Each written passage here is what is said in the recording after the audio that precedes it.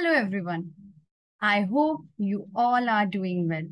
Today, I'm going to tell you a story, a story of a lazy son. So let's start.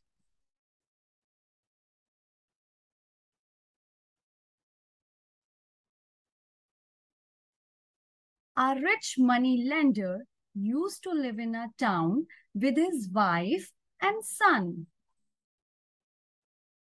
His son, Varun, was very lazy and the money lender was very hardworking. He used to go to the temple every morning. He used to take a round of his farms and fields.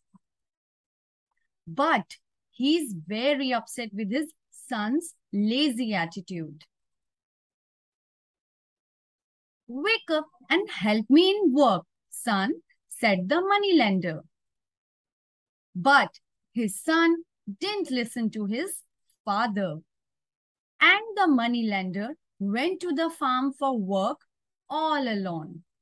After a few days, he got very sick and soon he died. Even after the death of his father, Varun didn't take any interest in their family business. Due to that, they found massive loss in their business. Seeing this, his mother got very upset and said to Varun, Go and talk to your grandfather. He will help you out, son. Based on his mother's advice, Varun went to his grandfather. His grandfather told Varun that his workers are taking him for granted and doing scam in his absence. Grandfather asked him to follow his father's routine.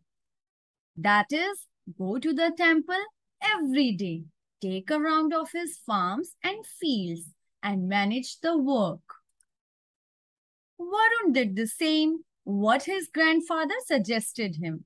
And slowly and gradually, he started generating the profit of his business. So kids, moral of the story is laziness is a bad thing. So we must complete our work on time.